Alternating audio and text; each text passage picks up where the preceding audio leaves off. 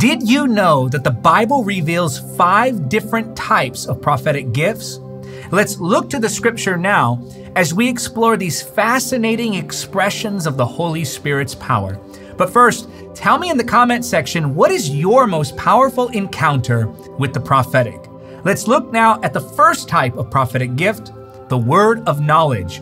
We see reference to this found in 1 Corinthians chapter 12 verses 7 and 8. But the manifestation of the Spirit is given to every man to profit withal. For to one is given by the Spirit the word of wisdom, to another the word of knowledge by the same Spirit.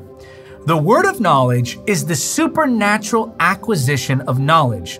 It's the ability to, by the Holy Spirit, see the situation. I'll give you an example. Years ago, I was ministering in a house church, and when I looked at the pastor, the Holy Spirit spoke to me. The moment I looked at the pastor, I saw in my mind flash before me a silver car and I saw the silver car get into a car accident. And I knew by the Spirit that the person in the car was a woman.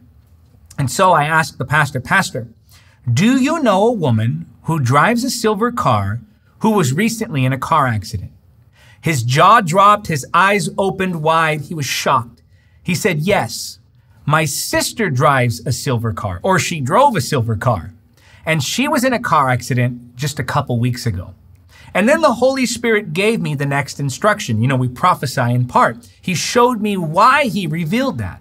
The Holy Spirit in that instant gave me a word for his sister. So he called his sister on the phone. She couldn't believe that the Holy Spirit had revealed that. She thought that they had told me. But of course, it came by the Holy Spirit. It was the word of knowledge in action. So I was able to give her a prophetic word. Now, the brother, the pastor, knew that his sister drove a silver car and he knew that she was in a car accident. That was knowledge that he had acquired through natural means. Someone told him that his sister was in a car accident. All of the family members present there knew that the sister drove a silver car and that she had been in a car accident. They had the natural acquisition of that knowledge. But the Holy Spirit gave me that same knowledge through supernatural means. So the word of knowledge is knowledge about a situation, the past and the present, and he gives you that knowledge through supernatural means. So it's something that you could otherwise know, but that you know instead by the Holy Spirit. An example of this is found in John chapter 4, when Jesus is ministering to the woman at the well. He, by the Spirit, was able to tell her all about her past and her present. And in response to that supernatural demonstration, the woman believed the gospel. In both the Old and New Testament, we see examples of prophetic figures revealing information about people's past and present through supernatural means. So the word of knowledge is the ability to, by the Holy Spirit, see the situation. It's the supernatural acquisition of knowledge, and it has to do with the past and the present. Let's look at number two. The second type of prophetic gift, the word of wisdom. Now, the word of wisdom uses the same reference as the word of knowledge. 1 Corinthians chapter 12, verses 7 and 8. And the word of wisdom is very similar to the word of knowledge in that people can acquire wisdom through natural means. There's worldly knowledge and there's worldly wisdom. There's supernatural knowledge and there's supernatural wisdom. So the word of wisdom is the supernatural acquisition of wisdom. With the word of knowledge, you can see the situation by the Spirit. But with the word of wisdom, you can see the solution by the Spirit. The word of wisdom empowers us to operate in God's instruction. It is that purposeful pull by the Holy Spirit on our lives. Examples of this are Solomon and Joseph, dream interpretation. Anytime that we saw the Holy Spirit helping an individual navigate a difficult circumstance, they were operating in something like unto the gift of the word of wisdom, which is a prophetic expression. It's to receive something from God that becomes useful information in the natural realm. So that is the word of wisdom, the ability to, by the Spirit, see the solution. So, so far we have number one, the word of knowledge, the ability to see the situation. Number two, the word of wisdom, the ability to see the solution. Now, number three, we have the gift of discernment. This is the ability to see the Spirit. 1 Corinthians chapter 12 verse 10 says to another the working of miracles, to another prophecy, to another discerning of spirits, to another diverse kinds of tongues, to another the interpretation of tongues. The gift of discernment is the ability to see the Spirit behind the message, behind the motive, and behind the ministry. Really, categorically speaking, every message, every motive, every operation will fall under either the satanic, the secular, or the spirit. Now, the gift of discernment is that prophetic ability to be able to tell where it falls in its category. Is it satanic? Is it of the world? Or is it of the Holy Spirit? Now, people who operate in the gift of discernment usually see things before others see them. They usually catch things that no one else catches. Having said that, let me make this clear. The gift of discernment is not the gift of criticism. The gift of discernment is not the gift of suspicion. All too often, I think that people have issues with the way ministries operate in their methodology or style. And because it contradicts their own personal preference, some people try to excuse their dislike of a ministry or of an individual by saying something like, well, something just doesn't sit right in my spirit. Well, first of all, the Holy Spirit is specific when He reveals these things to you. It's not as if He's just whispering, I'm not going to tell you what it is, but something isn't right about this. No, the Holy Spirit will be able to use the scripture to pinpoint what the problem is. So when something is vague, it's likely that it's your own preference or your own emotions that you're confusing for the voice of the Holy Spirit. You know, the gift of discernment doesn't just point out the negative. The gift of discernment can also point out when something is positive. So, if all you ever do is point out the negative, if all you ever do is criticize, then it's likely not the gift of discernment because if it was the gift of discernment, you would also often say, This is of the Holy Spirit. It would be specific and it would include all of the different things that can be discerned the secular, the satanic, and the spirit. The gift of discernment is more than just personal preference. It's not your own suspicions, and it always goes below the surface. It is not surface level analysis, it's the ability to see the spirit behind what's going on. Number four, insight. And this is the ability to see the soul. I'll explain that in a moment. Matthew 12, 25. Jesus knew their thoughts and replied, Any kingdom divided by civil war is doomed a town or family splintered by feuding will fall apart. 1 Corinthians chapter 14 verses 24 and 25. But if all of you are prophesying and unbelievers or people who don't understand these things come into your meeting, they will be convicted of sin and judged by what you say. As they listen, their secret thoughts will be exposed, and they will fall to their knees and worship God, declaring, God is truly among you. Now, let me make this clear. I am not saying that anyone has the ability to read minds. You do not have the ability to read people's minds. And if anyone ever claims that, they're not being biblical. Rather, what you're seeing is what God reveals. God sees what happens in the mind. God sees what happens in the soul. And He can share this with you if He so chooses. Years ago, I was ministering in Southern California and I gave an altar call.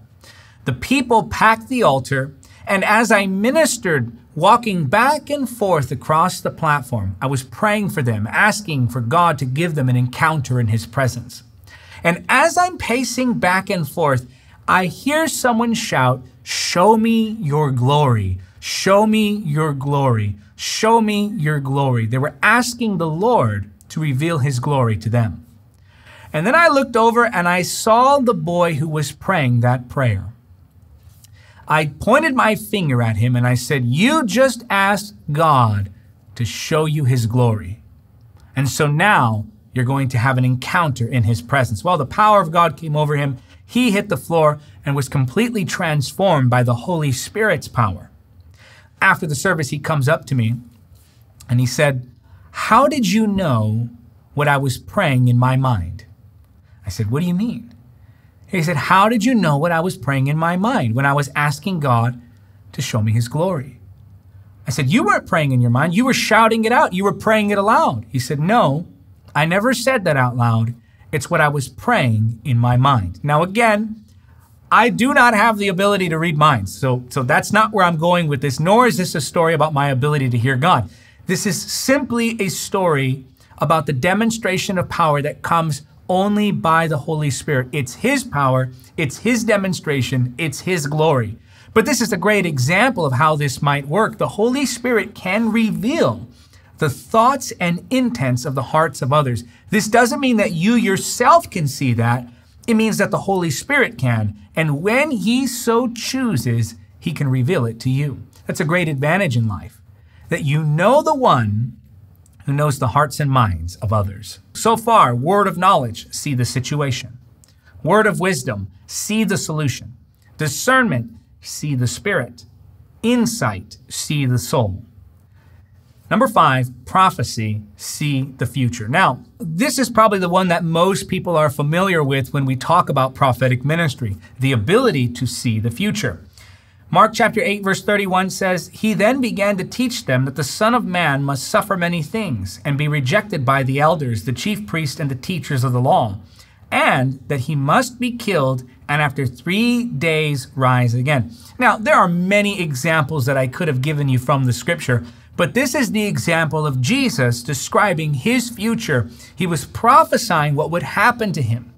When you flow in the prophetic gift that is prophecy, the traditional gift that we're all familiar with, this is the ability to see the future as God reveals it. Now, as I mentioned with the previous point, this is not your ability. This is not your insight. This is God's insight that is sovereignly revealed as He desires. The gift of prophecy is the ability to see the future. Now I'm going to pray that God would give you a desire for the prophetic and that He would begin to reveal the gifts that He's placed in you. Let's pray right now. Father, in the name of Jesus, Lord, we thank you for these beautiful expressions of the prophetic ministry. Lord, help us to keep these gifts in the right perspective, that we might continue to seek you above all else. And Lord, as we seek you, Reveal to us the prophetic gifts and abilities that you've placed in us. Father, I pray for that when receiving this now. And I ask you to begin to show them, reveal to them the prophetic gifts you've placed within them. We thank you for these wonderful gifts, Lord. Help us to use them unto your glory, we pray.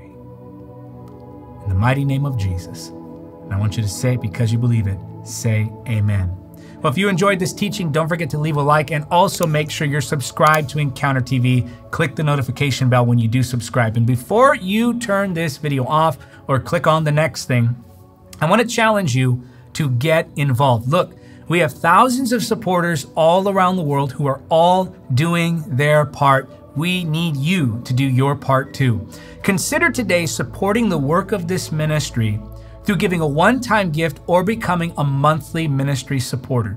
For more information on how you can support the ministry, just go to davidhernandezministries.com slash donate. And remember, your gifts help to fund the content creation, the live streams, and the events that we host all around the world. Bottom line, you're helping us to win souls and build believers. We want to see salvation, healing, deliverance, and empowerment. Help us do it Get involved with the work of this ministry by again giving a one time gift or becoming a monthly supporter, or if the Holy Spirit should lead you, do both. Again, information is found at davidhernandezministries.com slash donate. We're calling on everyone who's receiving from this ministry to do their part, get involved. Look, we give all the content away for free so that you might be blessed. Help us continue to give it away for free all around the world. And if you enjoyed this teaching and you were stirred in your faith concerning the prophetic, then you will love this message How to Know You Are Prophetic Nine Important Signs. I showed you what the prophetic gifts are. Now it's time to see if the prophetic gifts are in you.